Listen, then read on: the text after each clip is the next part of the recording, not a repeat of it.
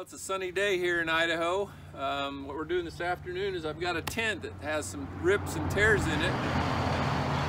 Um, it needs to be repaired for a guy. So I'm going to walk you through the process of what I do on tent repairs.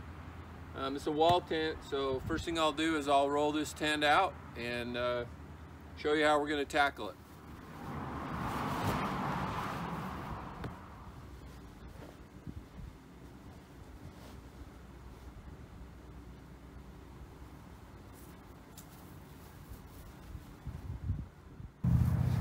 Well, I was told this tent had some tears in the corners. The small tear there on that corner. Another small one here on this corner. And then there's a small tear right here. Not too bad. They said this tent was frozen when they took it down. And had some tears get in it from the, that. There's a tiny one right here.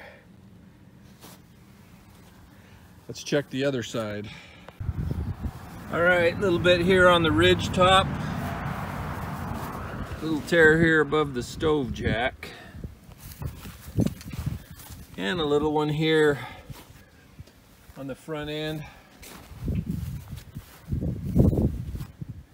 All right, we're gonna have to build a new flap for this. So we're gonna measure it.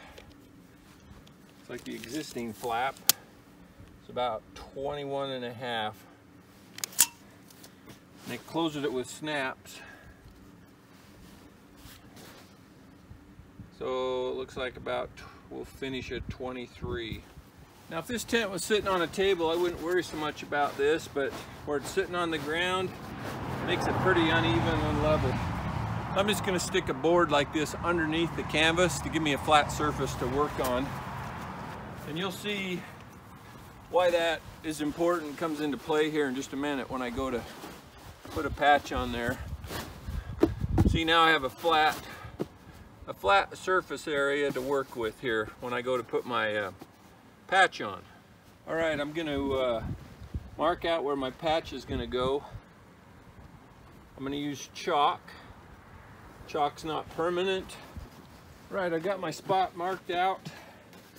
I got my patch cut. Just going to glue in right there. So I'm just going to put some cardboard around the edges here so I don't get glue all over the rest of the tent. I just got a can of spray adhesive that I use.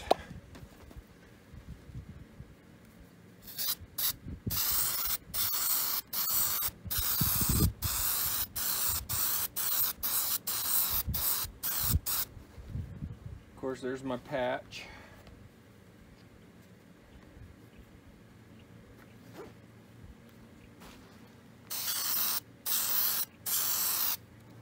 It's kind of a contact adhesive, so we want to let it sit for a minute before we stick it down. You know, some people say, gee, a lot of those tears are tiny, you know, inch or two long. Why are you even worried about them? Well, the reason is this wall tent is made out of cotton.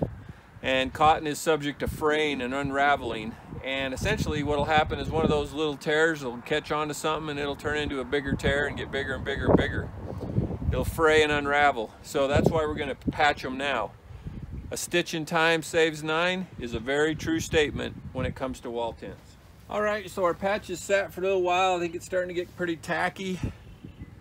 So we're just gonna turn it over, lay it on there. A lot of people just glue it and they leave it at that. Well, I'm not gonna do that. I'm gonna sew these to make sure they don't come undone. So I'll show you how that works. Just stick with me on the process. I'll go around the rest of the tent now and put my patches on, then we'll meet back up when I'm ready to start sewing. Okay, this will probably be a little bit noisy, but I've got a big old patch right here. I'm gonna show you how I sew these patches on. I do more than just glue them. I find that if you just glue them, uh, they'll come undone and they're just not nearly as effective. So basically I'm gonna start and go right down an edge. Just like that. And I'll just turn it, back my way up across it to that other edge. And I'll come back down.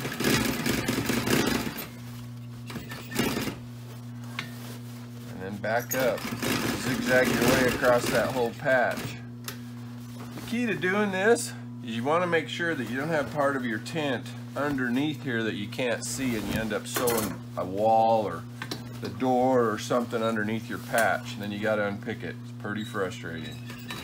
But pretty simple. That's how I uh, sew my patches. So I'll just work my way through the whole tent and, and sew all those patches as I go. Remember the stove flap had been burnt, so I built a new one. Just got it sewed here. I knew what it needed to finish. So I'm just gonna sew it right on where that other one went. And the stove jack ring flap will be replaced.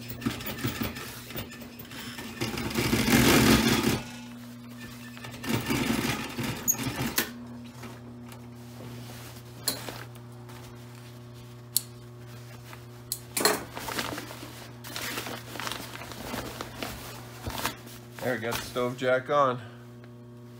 Or the stove jack rain cover on.